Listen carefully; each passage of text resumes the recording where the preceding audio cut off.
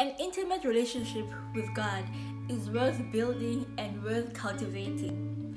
And the amazing thing is that it's not only limited to a group of people like pastors, evangelists, musicians, or any other person. It's available for any person who is willing to cultivate and to build a personal and intimate relationship with God. Come near to God, and He will come near to you. James 4 8. It's quite fascinating that both human beings and God desire to have an intimate and personal relationship with each other. But God already has paid the price for us to come into communion with Him and to have a very intimate, personal, and lovely fellowship with us. So now it is on our part as human beings to cultivate and to grow this relationship that God has called us into. Today, I'll be continuing on our two part series on how to cultivate an intimate and personal relationship with God. We've got seven tips, but so far we've covered three. Today, we'll be moving from point number four. And point number four for today is prayer. Prayer is a vital tool on cultivating a relationship with God. In simple terms, prayer is communication with God. And you know, for every relationship to survive or to be fruitful, communication is key. We saw this on Jesus. While he was work, walking on earth, he was constantly praying and talking to his Father concerning his life and concerning the assignment that he came to do on earth. So, just like Jesus, we are also on assignment on this earth. Therefore, we need insight and, com- and communication from God to tell us where, where to go and what to do as well. So, I do think that prayer is very, very necessary for you to succeed in your life and also to succeed in your assignment that God has given you. It's, and it's great to know that because we've got God as our Father, He is always interested and always wanting to hear from us as well. The disciples in Luke 11 saw that Jesus was constantly praying and then they had to go to Him according to Luke 11, verse 1 to 3. So let's read that verse now. It says, Once Jesus was in a certain place praying, as he finished, one of his disciples came to him and said, Lord, teach us to pray, just as John taught his disciples. Jesus said, This is how you should pray. From this, we see that prayer can be taught and prayer can be learned. If you are desiring to cultivate your relationship with God, but you see that you are lacking in the area of prayer, it can be taught and you can also learn it as well. One of the key things that we need to remember is that we've got the Holy Spirit to help us to pray, and also, He also knows what we need to pray for as well. So don't forget to ask the Holy Spirit to help you in that re- uh, regard as well. Also, there are books and articles and sermons on how to cultivate your prayer life as well. So don't be in despair or don't be discouraged, but know that prayer can be taught and you can also learn how to pray. You know, we do have our enemy, the devil, who is consistently on our backs, trying to prevent us from praying and communicating with God concerning our lives. So, whenever he tries to, to bring you down or even tries to discourage you, tell him who you are in God that God is your Father. Like Jesus taught us to pray, He said, when we enter into our prayer place, we need to say, Our Father who art in heaven. And that's relationship there. Romans 8:26 in the amplified. It says, "In the same way, the Spirit comes to us and helps us in our weakness. We do not know what prayer to offer or how to offer it as we should, but the Spirit himself knows our need and at the right time intercedes on our behalf with with sighs and groanings too deep for words." We've got the Holy Spirit to help us to pray. So every time you lock yourself in the room, you can always say, Holy Spirit, help me. And remember, prayer is not bound by time or by location or by place. Remember, God is an omnipresent God. So you can pray anywhere, you can pray everywhere and every time. You can pray in the morning, you can pray in the afternoon, you can pray at night. So anytime you feel like praying or you want to talk to Him, you can talk to Him at any place, anytime, and anyway. Point number five learn to hear Him. It's amazing that in prayer we get to talk to God and God speaks back to us. So after you have prayed, or even during prayer, you need to cultivate the attitude of hearing God because sometimes we do enter into a time of prayer and immediately we want to talk and talk and talk. but one of the key things, and which is very, very important, is to hear what God is saying. Check out John 10. John 10 27 28. It says, The sheep that are my own hear my voice and listen to me. He says, I know them and they follow me and I give them eternal life, and they will never ever by any means perish, and no one will ever snatch them out of my hand.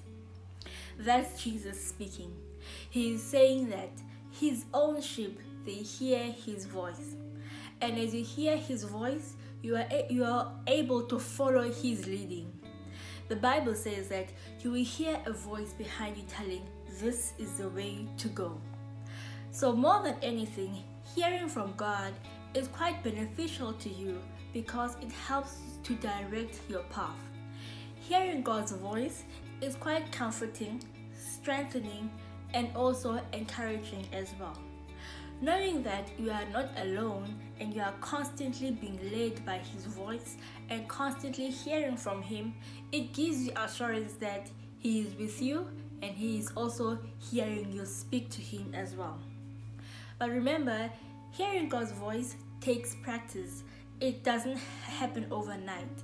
As you keep on hearing Him and obeying Him, you actually strengthen yourself and strengthen your hearing ability, and therefore you'll be able to hear Him and distinguish His voice from many other voices. Because there are so many voices that are speaking out, out there negative voices, the devil trying to shout and shout on top of your head to discourage you and for you to not hear from God. But once you keep on learning, keep on practicing to hear His voice, and then you'll be able to walk with Him successfully and constantly be in fellowship with Him. It might be tiring to keep on talking to somebody who is not replying you or who is not talking to you back. And the assurance that we have from God is that He hears when we speak. And now we also know that we can hear Him speak to us as well. God speaks in different ways. God speaks through His Word, through books, and through the people that He has put around us as well. So be attentive and try to constantly hear from Him and don't expect Him to speak the same way every time. So, God will speak to you in different ways based on the situation that you find yourself in. But the one thing that assures you that it is God that is speaking, His word comes with peace. So, when you identify peace in every way that He is speaking to you, then you'll know that this is God. Now, point number six learn to trust Him. You know, doubt is one of the things that hurt God the most. The Bible is full of promises on what He intends to do for us, His children. But now, when you are doubting Him, you won't be able to fully experience what He has in stock for you. And that hurts God so much. I know as a parent that when you promise your children that you will do something for them, but now they don't believe you, it can be discouraging and also hurtful as well. I do remember my three year old son. I promised that, or I had told him that I'm gonna buy him a hamburger that he loves so much. The way he just looked at me like, he didn't believe me.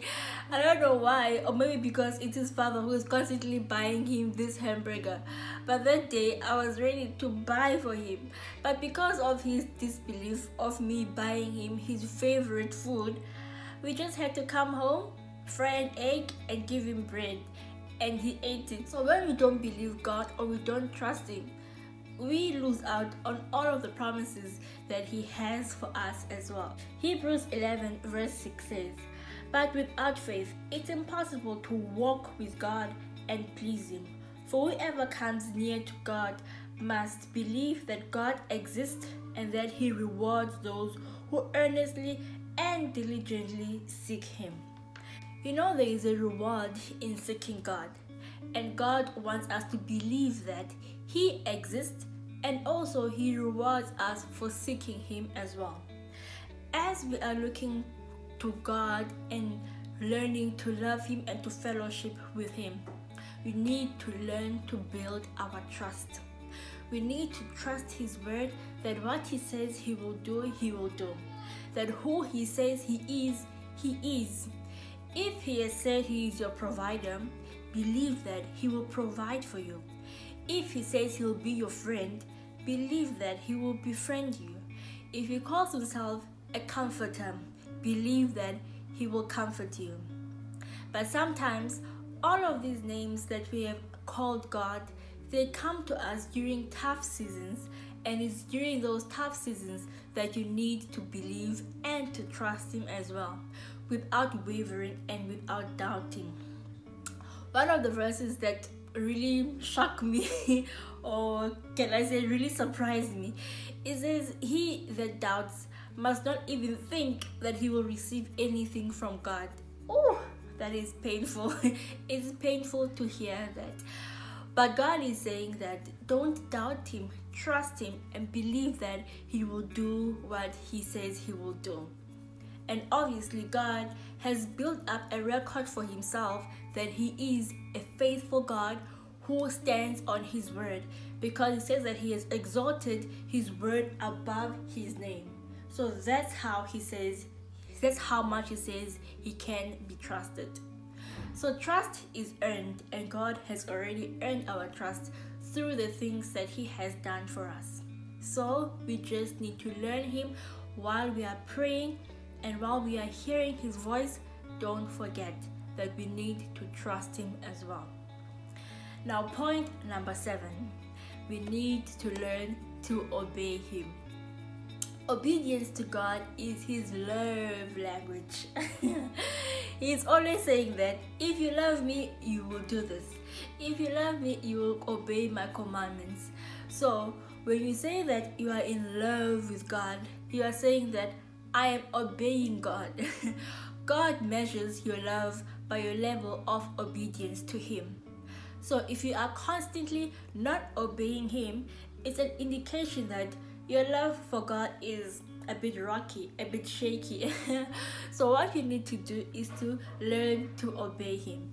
If perhaps you have missed it once or twice or three times or hundred times, God is constantly giving us opportunities to obey Him as well. Let's look at John 14.